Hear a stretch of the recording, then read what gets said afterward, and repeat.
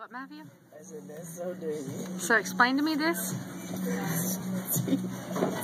say it. Explain to you what.